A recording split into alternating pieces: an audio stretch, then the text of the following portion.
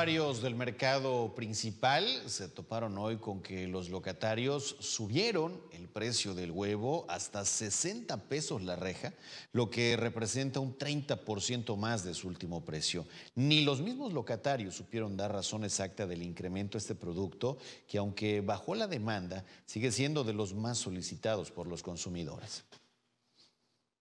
La última vez había de, 45 y de 50 la reja, ahorita está de 58 a 60 pesos. Sí afecta mucho, nos afecta mucho porque la verdad subió demasiado. 54 y ahora cuesta 58, ¿qué te costó?